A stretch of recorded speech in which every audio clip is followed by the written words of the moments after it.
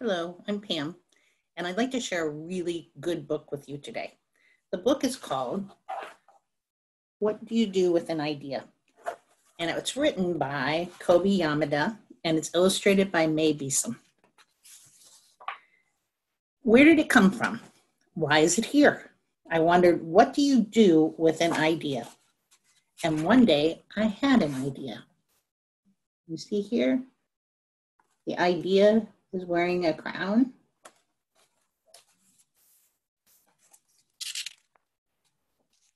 At first, I didn't think much of it. It seemed kind of strange and fragile. I didn't know what to do with it, so I just walked away from it.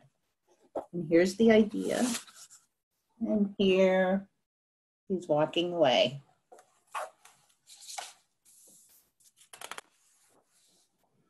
But it followed me. It's very persistent. I worried what others would think. What would people say about my idea? I tried to keep it to myself. I hid it away. I didn't talk about it. I tried to act like everything was the same and it was before my idea even showed up. But there was something magical about this idea. You see the ideas playing in the pond, and there, down there, there are frogs and fish and having a great time.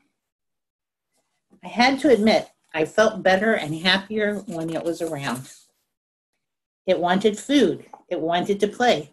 Actually, it wanted a lot of attention.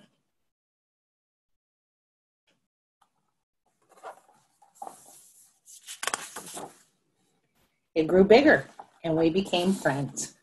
You see now, he's carrying it in his backpack. They're friends.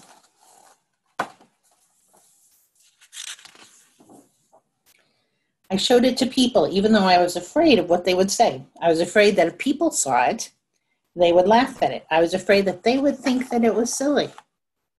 Here's the idea with all these other people looking at it and judging. And many of them did. They said it was no good. They said it was too weird. They said it was a waste of time and that it would never become anything. And at first, I believed them. I actually thought about giving up on my idea.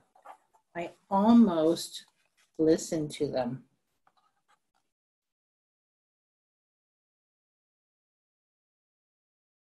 Thinking about it. There's the idea.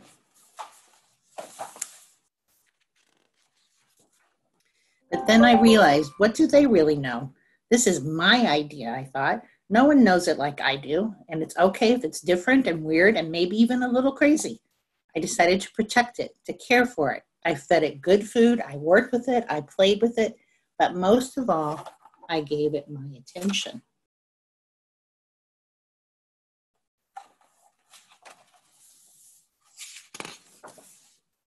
My idea grew and grew, and so did my love for it.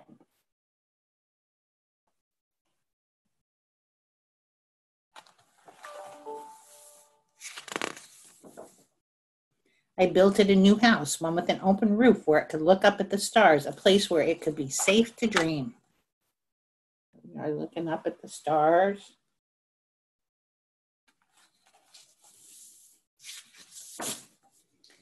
I liked being with my idea. It made me feel more alive, like I could do anything.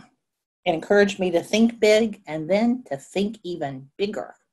It shared its secrets with me. It showed me how to walk on my hands because it said it's good to have the ability to see things differently.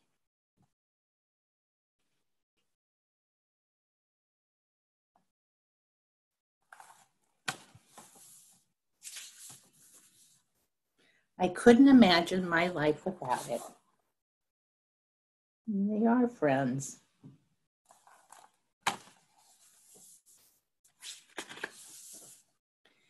Then one day, something amazing happened. My idea changed before my very eyes. It spread its wings, took flight, and burst into the sky.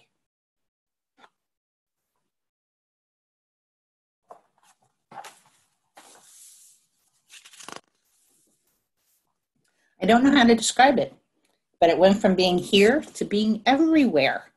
It wasn't just a part of me anymore, it was now a part of everything.